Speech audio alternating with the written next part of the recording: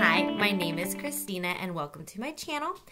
For those of you that are new here, hi and welcome. My name is Cristina and I am a mommy to two little boys. I'm also the host of Not Your Mama's podcast, where I'm pulling back the curtain on experts' advice for every area of our lives through a series of interviews where we tackle everything for eating for wellness, advice for littles, fashion and style, and everything in between. Well, today is Friday, and I like to pull an affirmation card to get us going through the weekend.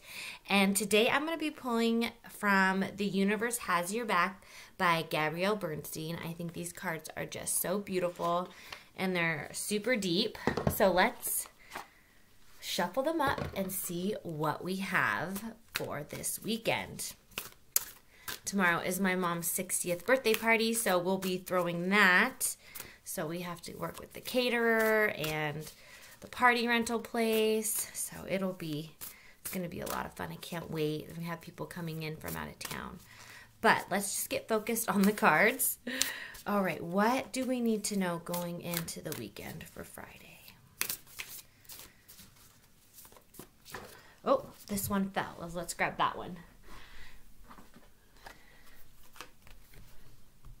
Perfect. The universe has my back. it is so true. I mean, the universe always has your back.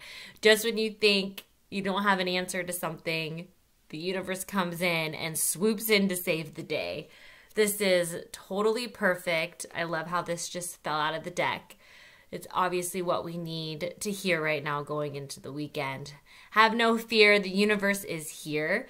Let me know what you think this card means to you and how you will uh, reflect on it over the weekend and hopefully, you know, apply it to something, a hardship that you're going through in your life. And hope you guys have a wonderful weekend and thank you so much. Don't forget to like and subscribe.